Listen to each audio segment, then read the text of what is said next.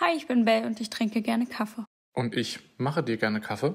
Ich wollte heute einen Pumpkin Spice Latte trinken. Dafür gebe ich eine Tasse frischer Espressobohnen in das Mahlwerk.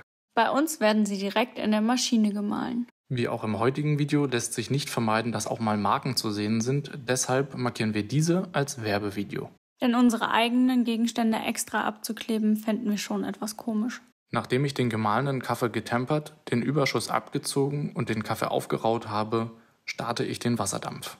Die kalte Milch wird in den Wasserdampf gehalten und aufgeschäumt.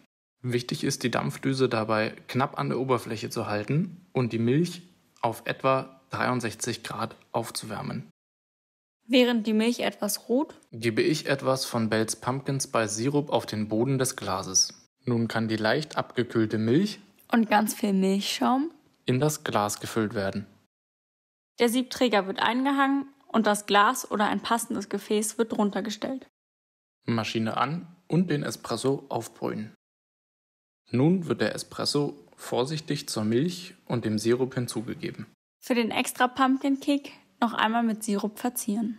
Und das ist Bells Pumpkin Spice Latte.